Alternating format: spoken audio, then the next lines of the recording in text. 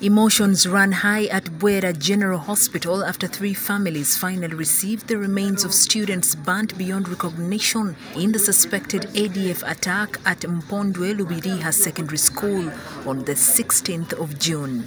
In Muhote, in Fort Portal, at the mortuary, we are now remaining with four.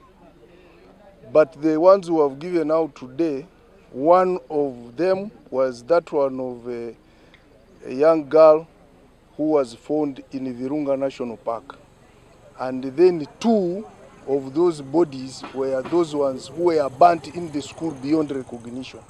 So those ones have marked and the parents have taken them. State Minister for ICT and National Guidance Godfrey Kabbyanga further said the government would ensure the four remaining bodies are matched with the right families. Carrying out more tests and uh, we can if if we if we find that our labs here are not detecting what we want then we can send samples to to other countries south africa america those dna things you make so many so many trials to come to the to the final conclusion State Minister for Education Peter Ogwang handed over 5 million shillings to families that lost their loved ones in the attack as condolence fee from the president. Money which can pay human life.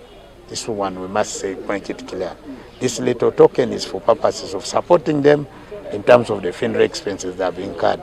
I have advised them not to get disintegrated, not to get divided because of this little token which they have received from government. We have a list of parents who are still looking for their uh, children and uh, there are still some deficit. There is still some deficit. But we, we are still hopeful that probably some of those children might, some of those children might have run to relatives and they are scared. Because there are some even who have some psychosocial issues. The number of students remained so far matched to their families stands at 14. Report by Gilbert Mohanguzi for the news in Kasese.